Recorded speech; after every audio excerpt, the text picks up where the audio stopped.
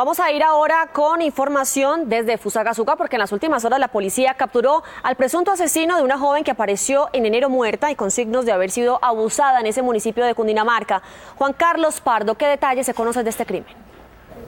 Buenos días. Se trata de un crimen que el pasado 11 de enero conmocionó a la población de Fusagasugá en Cundinamarca precisamente por este video en el que se observa cómo un hombre carga el cuerpo de la mujer envuelto en sábanas y luego lo arroja a la calle.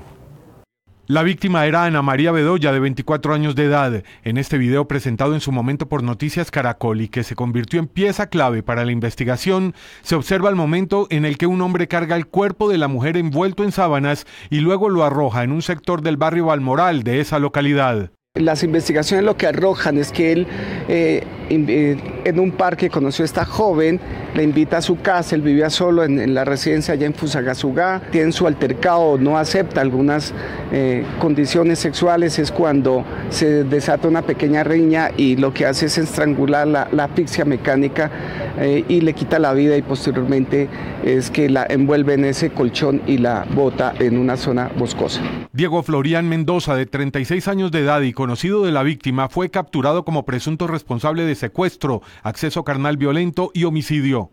De acuerdo a estas investigaciones, esa recolección de elementos materiales probatorios se pudo demostrar ante el fiscal donde se le imputan los cargos de feminicidio, secuestro y acceso carnal abusivo. El capturado también es investigado por su presunta responsabilidad en un caso de abuso sexual en joven de 14 años. Según la policía, el capturado enfrenta una pena de hasta 50 años de prisión. Juan Carlos Pardo, Noticias Caracol.